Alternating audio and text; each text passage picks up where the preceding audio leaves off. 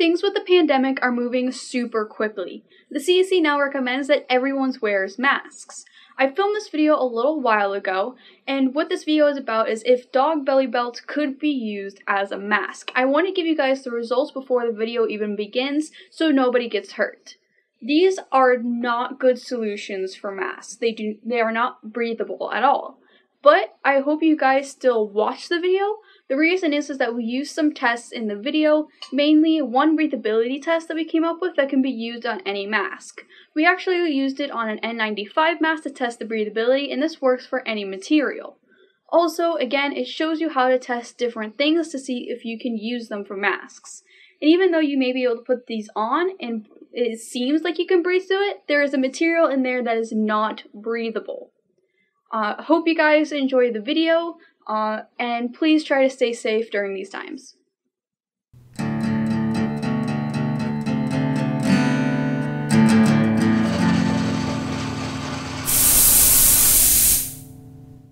With the coronavirus pandemic, there is a huge mask shortage, and people have been trying to find different solutions um, for it. One of the main people is C. Michael Gibson. If you have Twitter, I totally recommend going following him. Um, he's been posting a lot of great information about um, the masks and the whole coronavirus pandemic in general. He is a Harvard medical professor. He was also the first person that we saw mention MacGyver Care, which is basically trying to find um, regular day things that can be used to make things such as masks or other medical, um, important medical instruments that are going to be used.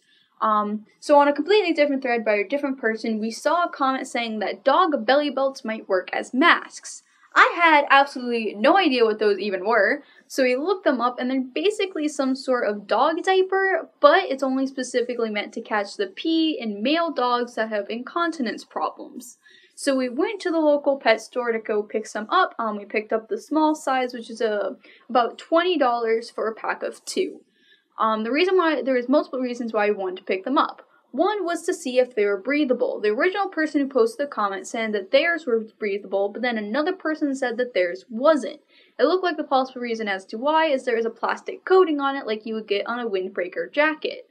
Um, but this one for the company that we picked up So Phresh, it is actually breathable and it doesn't look that bad. Like, um, anyways though, the second reason why we wanted to cut into it is to see if there is something called melt blown non-woven polypropylene. And what that is, it is the same material that is used in surgical masks and N95 masks. Um, so a lot of people that think that these are paper or fabric, and no, it's this polypropylene. So the surgical mask, what it is, is that there's a layer of polypropylene and then a layer of fabric to allow the bendability, and then probably another layer of the polypropylene. And that's how this one um, is put together. And then for the N95 mask, either this outside is fiberglass, which is another thing that is used, um, or it is a thicker form of polypropylene, and then the inside is polypropylene. Um, as you can see, it's the same material as the surgical mask. So what we're going to be seeing is if it is inside of here. And the reason why we think it actually might be with our research is that polypropylene is also found in a lot of other things, such as female sanitary pads and actual diapers. Um, it, we looked on the box to see if it said it, but it didn't. All it said on here was a moisture wicking liner, a super absorbent microfiber pads, a leak proof barrier, and a quick dry outer fabric. One of these could be polypropylene. And so what my idea is, is that this area here, as you can see, there's the circle, and that's where all these pieces would be. So I'm planning on cutting into this with um, an X-Acto knife and seeing if there is polypropylene or some sort of non-woven melt blown material inside. Okay, so now it's time for the doggy diaper dissection. So I'm gonna just try to cut this top layer only. Okay, I think I just have. Oh, it's being very resistant.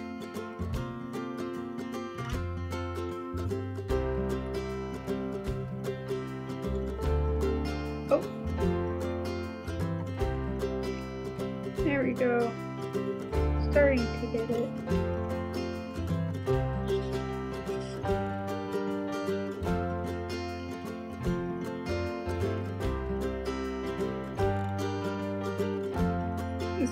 Way to use it. Okay, that should be enough. So, first thing just looks like, oh, it's okay, it's sewn together. So what this layer is, if you can see it, is it's a like a microfiber cloth is what it looks like to me, or like a kind of like a towel material. It feels like a towel. So for better access, I'm going to cut a little bit more into this top fabric so that I can get in easier.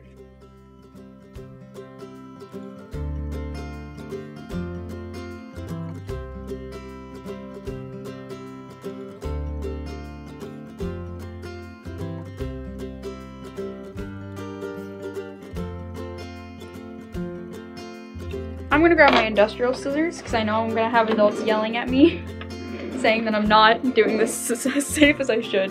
So this is safer option. There we go. A lot cleaner cut. Okay, so we're gonna cut into this next layer. This is reminding me of something like from a fantasy. Anyway. So let's cut into this next layer.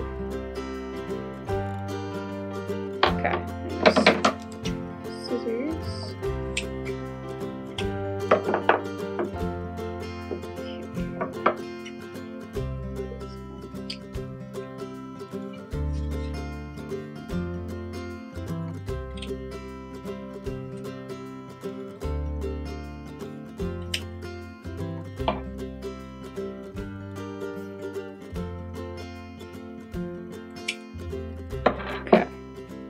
next level looks exactly the same. Looks like the exact same material. So this is basically exactly like what a tea towel is or a dish towel is. Um, but there should still be more layers because it said three layers inside and then the fabric. Um, so we're gonna continue cutting in, seeing if we can find anything else.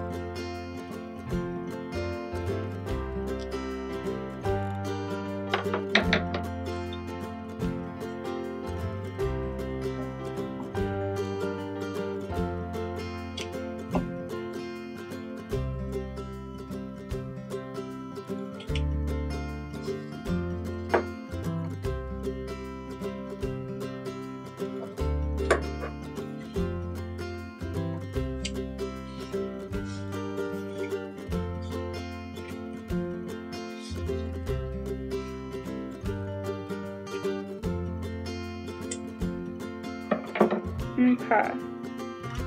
And so here's kind of like a plastic-ish material. Um, again, it kind of feels something that you feel on jackets almost. Okay, so out of curiosity, I'm just going to try to breathe through this, I'm guessing is the leak-proof barrier that it talked about, seeing if that itself is breathable.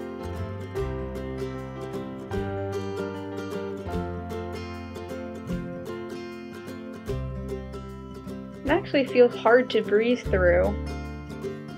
As a better test to make sure to see if this is actually breathable or not, I'm going to cut out, at least try to cut out a small circle of it. The best way is going to be cutting off these pieces first. So I think what this what this part is is the moisture wicking liner is this top black part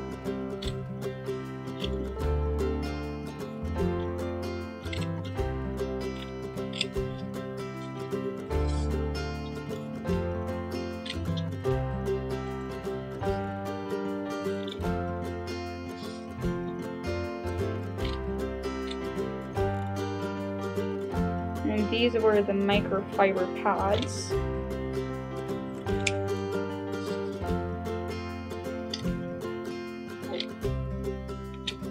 Little pieces are fine.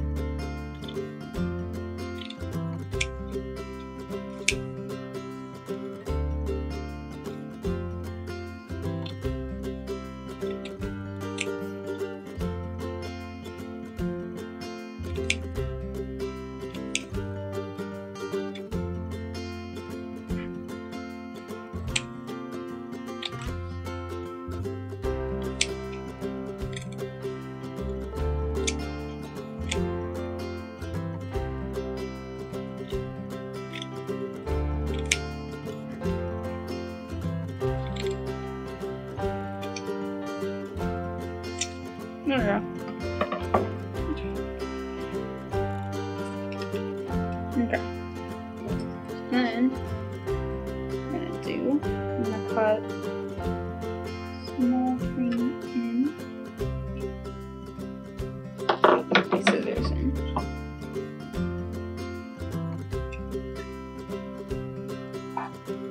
No, no.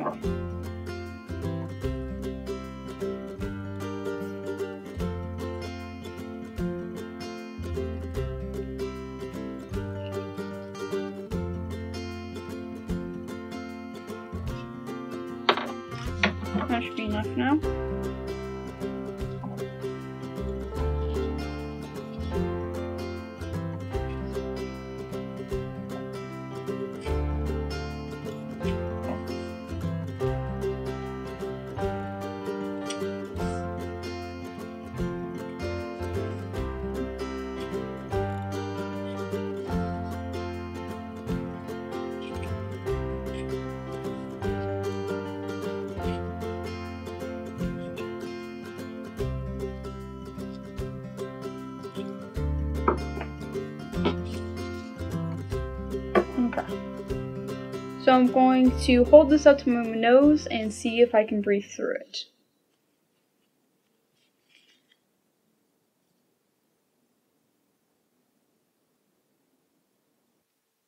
It feels hard to breathe through. Um, kind of hurt my nose a little bit with just that little bit. Um, so to show you guys, this is what woven looks like. You can see all the little threads. Usually with woven materials, you should be able to breathe through it, so it's a little weird that I couldn't. Um, it's also a little weird because we could breathe through the belt when we put it up to our face. So we're going to be doing a little bit more um, testing to see why that is and to figure it out why we could actually breathe through it. So we think we came up with a good test. You wrap the material a little bit around a straw and try to blow through it and try to move some of the particles that got left over. If you see this little speck here, um, I'm going to be trying to blow that and so you see if there's any air going through it.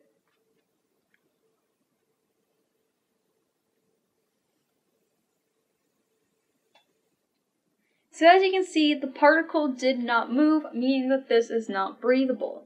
We're thinking that it's some sort of nylon or polyester or a micropolyester. And if you remember when I mentioned windbreaker fabric, this is what it is. So basically, this is not breathable, and we believe that the only reason why the belt was breathable was because there might have been air coming in on the side. Um, we were really hopeful for this because, um, like I tried to show before, I'm gonna pull out the other one to show this again.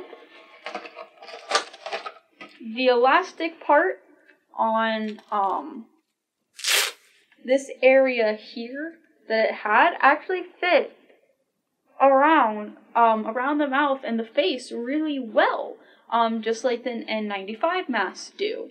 Um, it also it goes right around here and it kind of it fits against the face really well. Um, it is it may be a little bit better than a cloth mask and more towards a surgical mask. The reason why is because of these microfiber pads. Um, there was a study that showed that layering two um, T claws together is um, similar to the it would block the same about the same amount of particles as a surgical mask. And when I'm saying tea towels, I'm kind of talking about specifically um, dish towels. But the thing is, because of this material, you would probably have to take a needle and puncture holes through, meaning that you're increasing the pore size, so it really might not work very well. So is this a good MacGyver care option? I wouldn't say so. Without alteration, it wouldn't work that well. So I would not recommend trying to use the dog belly belts if you are trying to protect yourself from the virus.